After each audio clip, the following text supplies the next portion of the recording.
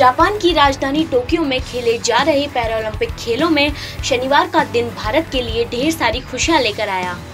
यहाँ पैरा खिलाड़ी मनीष नरवाल ने शूटिंग के P four mix 50 metre pistol S H one event में गोल्ड मेडल पर निशाना साधा। वहीं इसी इवेंट में भारत के सिंहराज अढ़ाना ने सिल्वर मेडल पर कब्जा किया।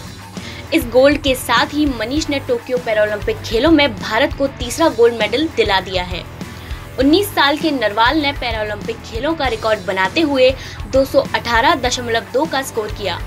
वहीं मंगलवार को ब्रॉन्ज मेडल जीतने वाले अढ़ाना ने 216.7 पॉइंट हासिल कर सिल्वर मेडल अपने नाम किया।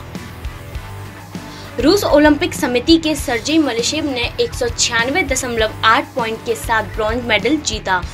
इससे पहले क्वालिफाइंग दौर में अढ़ाना 536 पॉइंट लेकर चौथे और नरवाल 533 पॉइंट लेकर सातवें स्थान पर थे। भारत के आकाश 27वें स्थान पर रहकर फाइनल में जगह नहीं बना सके थे। इस इवेंट में निशानेबाज एक ही हाथ से पिस्टल पकड़ते हैं, क्योंकि उनके एक हाथ या पैर में विकार होता है, जो रीढ़ की हड्डी में चोट या अंग कटने की वजह से होता है।